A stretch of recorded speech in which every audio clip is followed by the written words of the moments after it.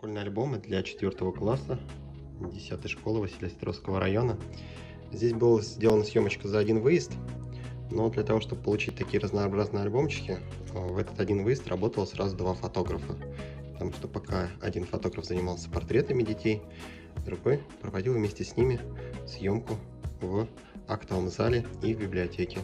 И вот такая красота получилась у детей.